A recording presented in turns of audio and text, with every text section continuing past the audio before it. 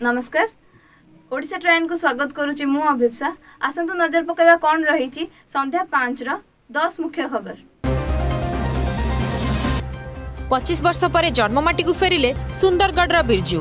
ପରିବାରରେ ଖୁସିର ଲହରୀ। ପାକିସ୍ତାନ ଜେଲରେ ଥିଲେ ବନ୍ଦୀ। ତେଜୁଛି ଆନ୍ଧ୍ର ଓଡ଼ିଶା ସୀମା ବିବାଦ। ଜୁନାଗଡ଼ରେ ରାସ୍ତା ଅବରୋଧ ହଟାଇବା ବେଳେ ଓଡ଼ିଶାର ଜନପ୍ରତିନିଧିଙ୍କୁ ମାରଧର କଲେ ଆନ୍ଧ୍ରର ଲୋକେ।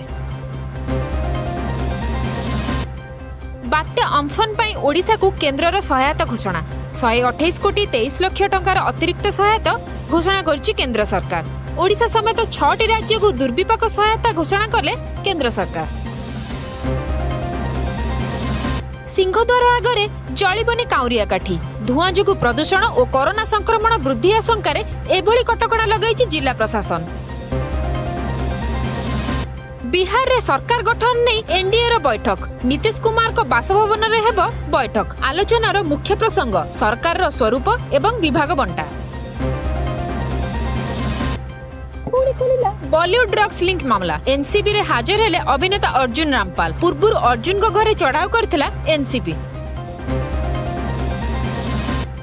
ଆସନ୍ତାକାଲି ଦୀପାବଳି। କରୋନା ପାଇଁ ଫିକା ପଡିଛି ଆଲୋକର ପର୍ବ। ବାଣ ଫୁଟାଇବା କିମ୍ବା କିଣା ଉପରେ କଟକଣା ଯୋଗୁଁ ବେପାର ମାନ୍ଦା। ଆମେରିକାରେ ପୂର୍ବତନ ରାଷ୍ଟ୍ରପତି ବାରାକ ଓବାମାଙ୍କ ନୂଆ ବହିକୁ ନେଇ ଚର୍ଚ୍ଚା। ବିଶ୍ୱର ଚର୍ଚ୍ଚିତ ନେତାଙ୍କ ସମ୍ପର୍କରେ କରିଛନ୍ତି ଉଲ୍ଲେଖ। ରାହୁଲ ଗାନ୍ଧୀଙ୍କୁ ଦର୍ଶାଇଲେ ଜଣେ ନର୍ଭସ୍ ଓ ଅପରିପକ୍ୱ ନେତା।